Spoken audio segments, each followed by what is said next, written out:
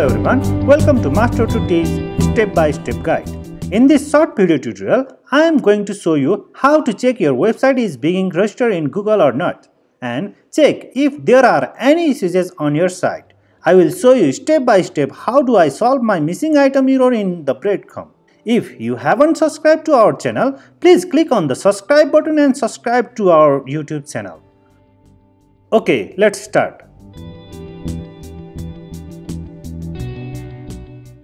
Search for the Google Search Console in the Google. I am logging with my Gmail account Master2Teach. Open the Google Search account page. Click the Start Now button. Make sure to recheck your accounts. I have a new website master2teach.com which showing 129 web search page click, 0 pages with errors and 265 valid pages. Mobile usability is all fine but it's showing 72 errors in breadcrumbs. Now inspect the URL. I am starting from home page.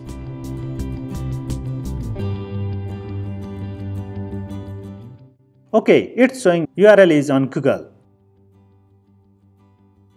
It can appear in Google search results. Everything seems alright.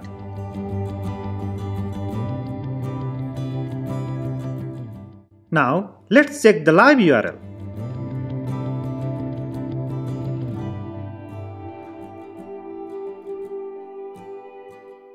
Yeah, URL is available on Google. All is fine, no error on the homepage.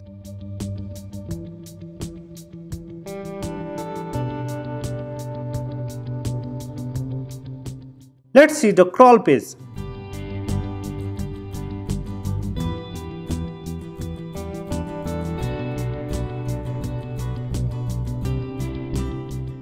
Yeah, all is fine here.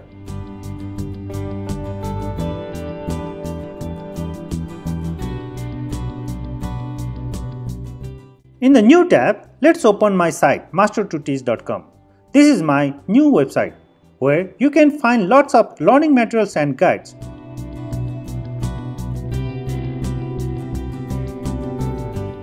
You can see I have already included Google AdSense on the site. YouTube video. Here are AWS Cloud Practitioner sample question and answer, software engineering courses, COCOMO model, functional point, Let's open functional point and check the status. You can see I have mentioned all the required guides step by steps. Now let's copy the URL and paste it for the inspection. Hmm, URL is on Google but has issues. Let's check what is an issue. In breadcrumb, there is an issue. Let's check in details. It's showing one invalid item detected unnamed item. In breadcrumb, there is a missing field item.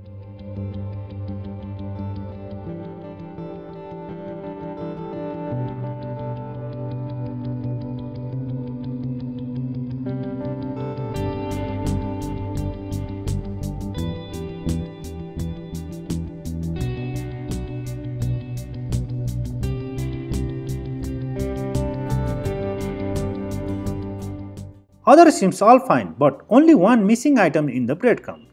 Let's test the live URL.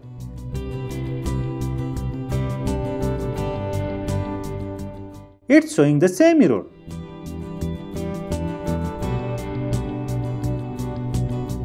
Unnamed item. Missing field item in the breadcrumb. On the home page, there is no breadcrumb, so that home page has no breadcrumb issues. Everything seems fine except the breadcrumb.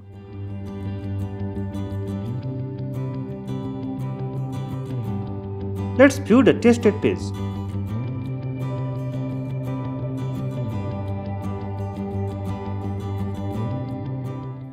Now, let's go for the code check.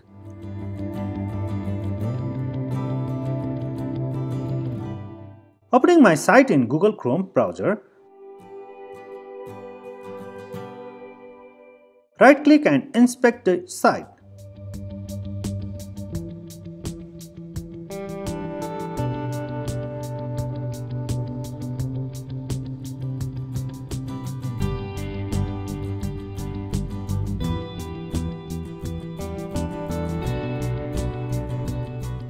The number of items is 2 and the item list order is in ascending. In breadcrumbs, there is a name as function point position as 2. Yeah, could not find any meta tags with the name items. There is a missing items in the breadcrumb.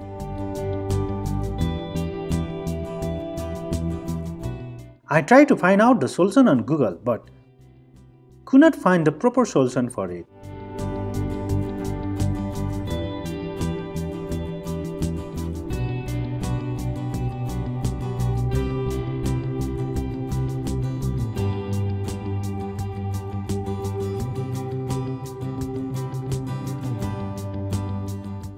Since I am using a free website theme, I could not get any support from the theme owner as well. I search in Google Developer and find out the syntax to add the item in the breadcrumb. And it should be contained in all positions except the last one. Now let's close it and go for the solution. My site is hosted in Namecheap. Let's log in in Namecheap accounts to access my cPanel.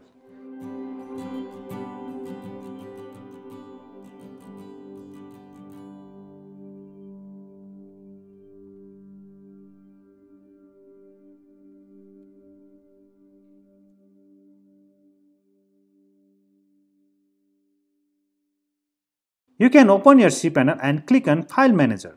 I have made my site in WordPress. Go to the WP Contents folder, then Theme. I am using Corporate Education Free WordPress theme. In your theme folder, open the NIC folder. Here you will get breadcrumb-class.php file. Select it and click on Edit at the top. Scroll it down. I know that it's not good practice to edit the theme file. It will overwrite as we update the theme.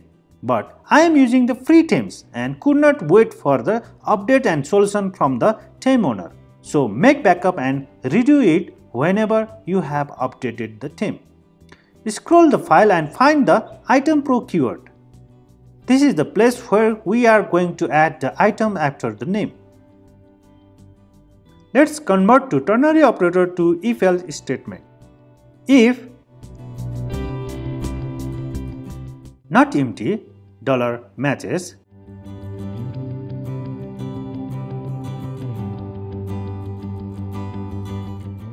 dollar item is equal to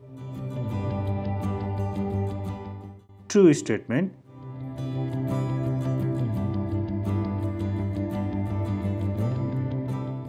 else dollar item is equal to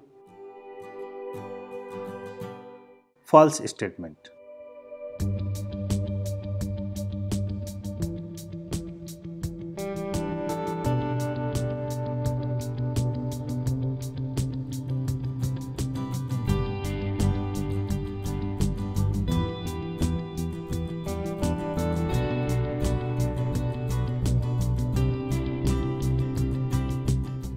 Now we need the string that contains the item. Let's reopen the site and again go to the same page. Functional point. Inspect the site in the breadcrumb section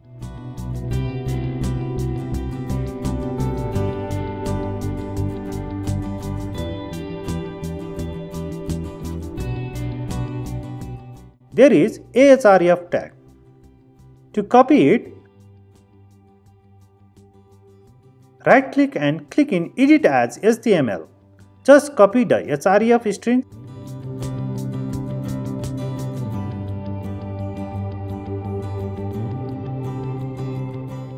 In the code section, let's paste in the comment section for the reference.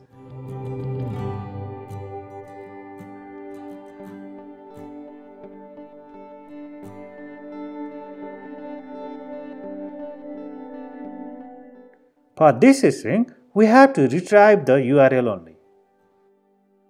First, let's find out the position of colon from the above string. Dollar first position is equal to strpos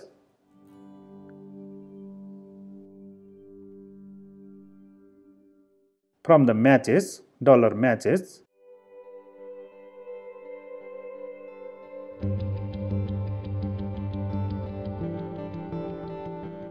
and the position of colon. Whereas last position is equal to strpos dollar matches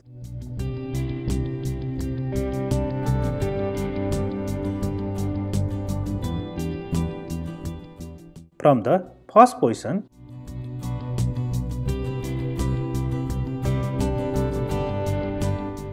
we need to place in item. Dollar main item.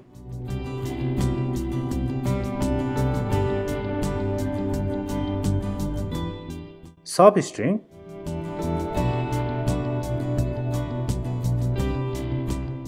dollar matches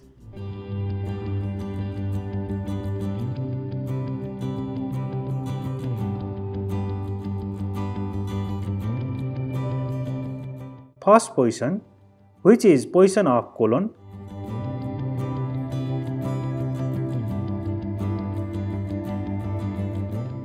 So we have to retry from yes so that there are 1 2 3 4 5 so we have to minus 5 so that we will get the string from yes 2 last position minus first position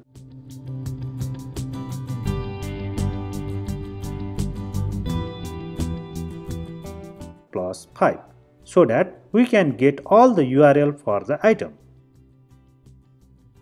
Now let's add the meta tags just after the name item pro. Syntax to add item meta item from item pro is equal to item prop is equal to item content is equal to modulus s. Close meta tag. At in, add the main item variable which contain the item URL string. Else is executed for the in breadcrumb where we just need to place the item. Let's add some comments for the clarification.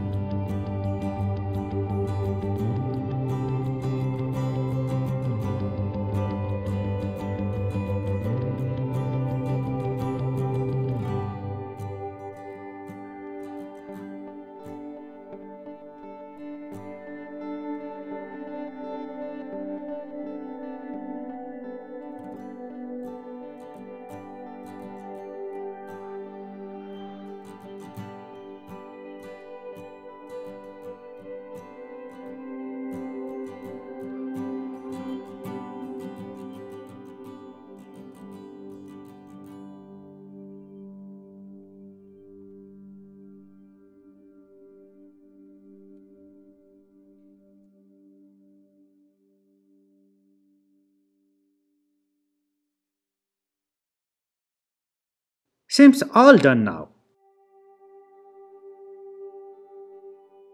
Let's save our code.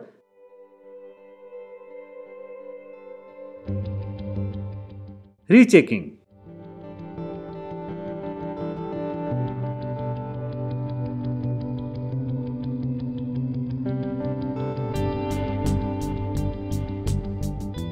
It's time to check it out in Google Search Console.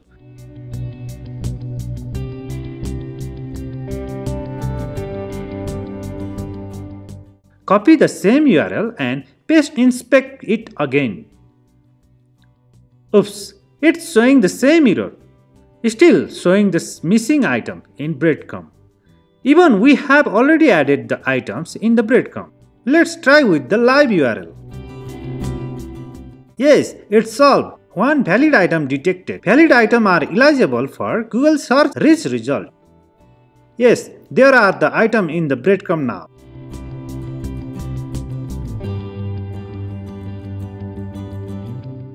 Let's check the home page again if there are any issues reflected on it or not. Yep, there are no issues at all. Let's try with the another page URL. Okay, let's check the page why project are late. Copy the URL and paste it for the inspection. Hmm, it's showing the issues. I am quite sure that Google is inspecting the page from the cache. Let's try directly live URL.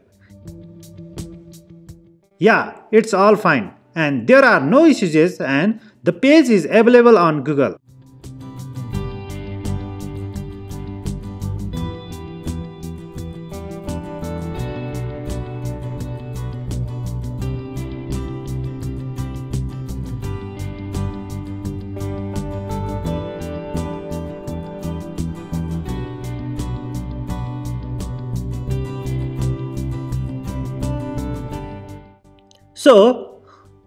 I hope that you learned from this video tutorial. If you have any questions or comment, please be sure to leave us a comment and let us know.